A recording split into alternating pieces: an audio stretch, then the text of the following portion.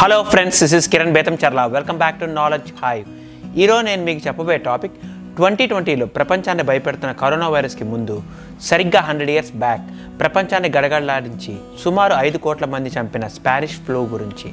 అలాగే ఈ హండ్రెడ్ ఇయర్స్లో ఈ ఫ్లూని సైంటిస్టులు ఎలా స్టడీ చేశారో కూడా చూద్దాము.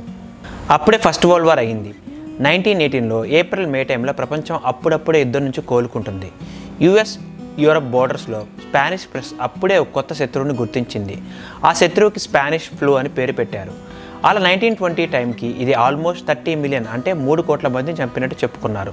కానీ ట్వంటీ సెంచరీ చివరి వరకు వచ్చేసరికి ఆ లెక్కలు ఫైవ్ క్రోర్స్ అయ్యింది.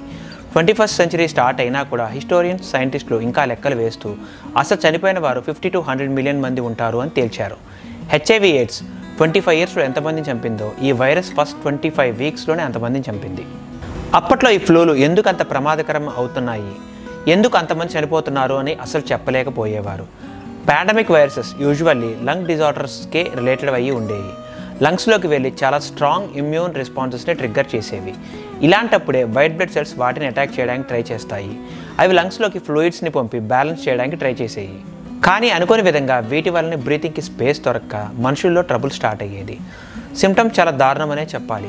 లంగ్స్ బాగా ఎఫెక్ట్ అవ్వడంతో చెవుల్లోంచి ముక్కుల్లోంచి రక్తం వచ్చేది. కొంతమంది అయితే బ్లూ కలర్లోకి పర్పుల్ కలర్లోకి మారిపోయేవాళ్ళు. రోడ్డు మీద ఉన్న వాళ్ళు ఒక్కసారిగా కుప్పకూలిపోయేవాళ్ళు ట్వంటీ టు ఫార్టీ ఇయర్స్ వాళ్ళు కూడా ఈ ఇన్ఫ్లుయెన్సాకి బలి అయ్యారు. ఈ రోజుకి దీని మిస్టరీ ఏంటి అని సైంటిస్టులు స్టడీ చేస్తూనే ఉన్నారు. నైన్టీన్ ఎయిటీన్లో చనిపోయిన వాళ్ళలో ఎక్కువ మంది అయితే ఫ్లూ ఇన్ఫెక్షన్ వల్ల చనిపోయారు.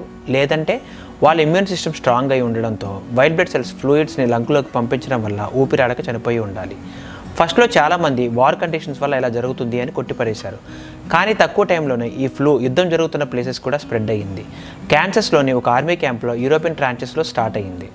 ఈ రోజుకి అసలు ఇది ప్రపంచమంతా ఎలా స్ప్రెడ్ అయ్యిందని మ్యాథమెటికల్ మోడల్స్ ఫామ్ చేసి మరి అనలైజ్ చేస్తుంటారు అంటే నమ్మగలరా? వెనక్కి వెళ్ళి ఎక్కడి నుంచి వచ్చింది? ఎలా వచ్చింది? ఎప్పుడు వచ్చింది?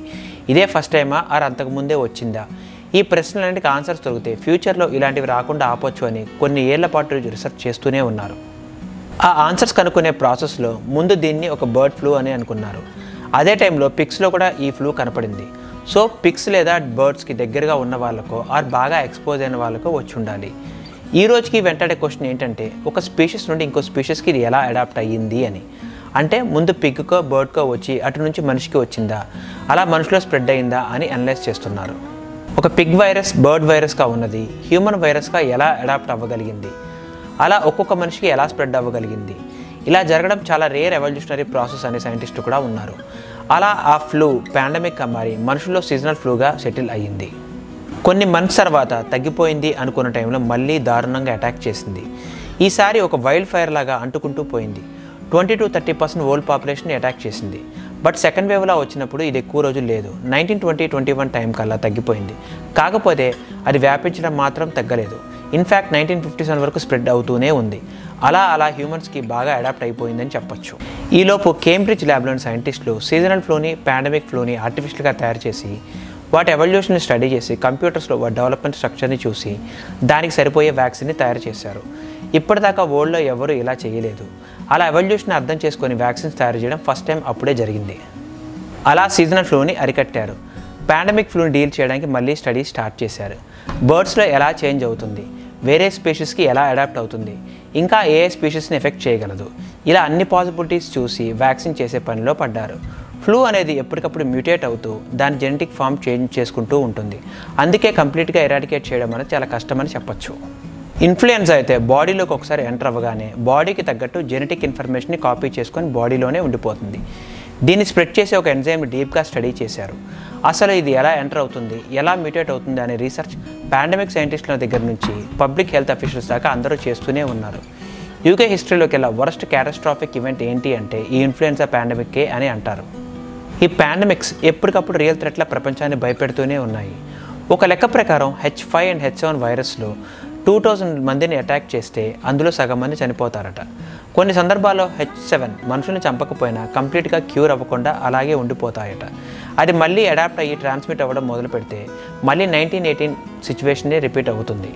అందుకే ప్రతి ఏరియాలో జనాల సేఫ్టీని ఉద్దేశించి ఎప్పటికప్పుడు రీసెర్చ్లు జరుగుతూనే ఉంటాయి. ఒక ట్రెండ్ లాగా ఈ పాండమిక్స్ ఎప్పటికప్పుడు వస్తూనే ఉన్నాయి. నైన్టీన్ ఎయిటీన్లో సరైన డేటా లేక సిచ్యువేషన్ని డీల్ చేయడం చాలా కష్టమైంది. కానీ రీసెంట్గా టూ థౌజండ్ నైన్లో వచ్చిన పాండమిక్ గురించి సరిపడా డేటా ఉంది. దాని స్ప్రెడ్డింగ్ని అబ్జర్వ్ చేస్తే బహుశా ఫ్యూచర్లో ఇలాంటివి రాకుండా ఆపే ఛాన్స్ ఉంటుందని అందరూ అనుకున్నారు. హండ్రెడ్ ఇయర్స్ బ్యాక్ వెళ్ళి చూస్తే అప్పటికి ఇప్పటికీ ఒక ఫ్లూని హ్యాండిల్ చేయడంలో మనం ఎలా ఉన్నాం? మనల్ని మనం ఎంత ప్రొటెక్ట్ చేసుకుంటున్నాం? ఇప్పుడు మనకి ఎక్కడ ఏ వైరస్ ఉంది అని తెలుసు. ఉన్న టెక్నాలజీలో బెటర్ వ్యాక్సిన్స్ ప్రాక్టీసెస్ ఉన్నాయి. దాన్ని స్టడీ చేయడంలో దాని వీక్నెస్ ఏంటో తెలుసుకుంటున్నాం. మన ఇమ్యూన్ సిస్టమ్ మీద కూడా మనకు మంచి అవగాహన వచ్చింది. ఏదో ఒక రోజున ఒక సింగిల్ వ్యాక్సిన్తో అన్ని రకాల ఫ్లూస్ నుంచి విముక్తి వస్తుంది అనుకుంటున్న టైంలో ఇప్పుడు టూ థౌజండ్ ట్వంటీలో కరోనా వైరస్ అనే కొత్త వైరస్ అటాక్ చేసింది. ఇప్పటిదాకా ప్రపంచంలో మొత్తం వన్ సెవెంటీ ఫైవ్ కంట్రీస్లో స్ప్రెడ్ అయ్యి దాదాపు ఫిఫ్టీ ఫైవ్ థౌసండ్ మంది జనాల్ని చంపేసింది. ప్రపంచంలో కొన్ని వందల కంట్రీస్ ఎన్నో ప్రైవేట్ కంపెనీస్తో కలిసి వ్యాక్సిన్ కనుక్కునే పనిలో పడ్డారు. ఎంత ఫాస్ట్గా పనిచేసినా కూడా వ్యాక్సిన్ రావడానికి మినిమంగా ఎయిటీన్ మంత్స్ టైం పడుతుంది. ఈ డీటెయిల్స్ మీరు తెలుసుకోవాలనుకుంటే నేను కరోనా వైరస్ మీద చేసిన పాస్ట్ త్రీ వీడియోస్ చూడండి. వాటి లింక్స్ ఈ వీడియో కింద ఉన్న డిస్క్రిప్షన్లో పెట్టాము. ఈ వీడియో మీకు నచ్చినట్టయితే మీ ఫ్రెండ్స్తో ఫ్యామిలీ మెంబర్స్తో షేర్ చేసుకోండి. అలాగే మేము చేసే మరిన్ని వీడియోస్ మీకు నోటిఫికేషన్ కూడా రావాలంటే మా ఛానల్కి సబ్స్క్రైబ్ చేసుకోవడం మాత్రం మర్చిపోద్దు thanks for watching see you next video